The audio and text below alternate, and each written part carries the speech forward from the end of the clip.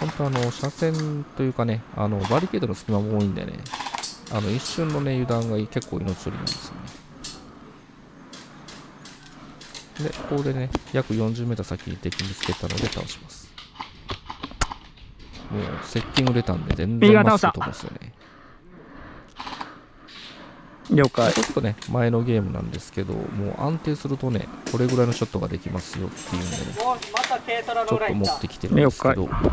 ですね、奥のあの、カゴのね、裏に敵がいるんですよ。